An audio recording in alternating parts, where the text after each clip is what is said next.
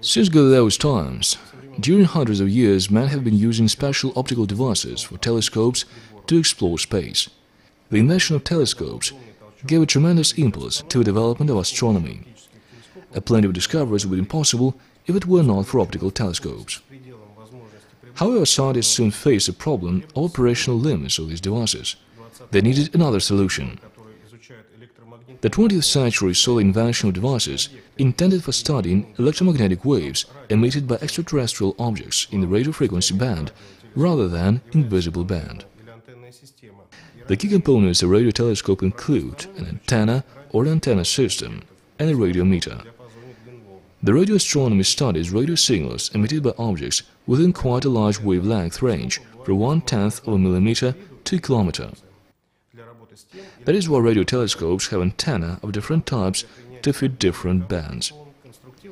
Technically, antennae receiving shorter waves do not substantially differ from regular satellite TV dishes, though they are much more bigger.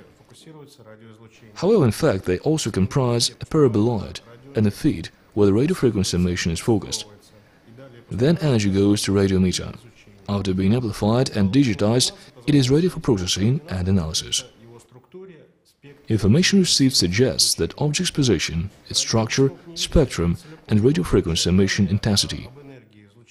You can't see the whole object with a radio telescope. It receives data on radio emission energy in a certain point, but if you measure such energy in multiple points, you can outline a general picture. It is obvious that such data represented graphically are absolutely different from visual images created by optical telescopes. However, scientifically, they provide nothing less data than optical telescopes. The key radio telescope parameters include resolution, or put it simply, the ability to show adjacent objects separately and sensitively that sets the weaker energy sources that can be recorded. Also, there is a special type of radio telescopes or radio interferometers.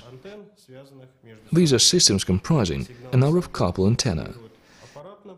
Signals from antenna interfere either in hardware by directing the signal to a common mixer or using computers. Then goes the analysis of information to build a general observation picture using the so-called aperture synthesis method. Radio interferometers generally have antenna of small diameter while the performance of the whole system also depends on the span between individual antennae. Radio telescopes fall under reflectors and refractors by their aperture filling and microwave field phasing techniques. Telescopes that have holes in aperture bigger than the wavelength are called non-filled aperture antenna. They include also radio interferometers and offer high resolution. As already mentioned, the aperture synthesis takes place to get a picture. The aperture synthesis falls under two types, i.e., successive synthesis and parallel synthesis, which is more advanced.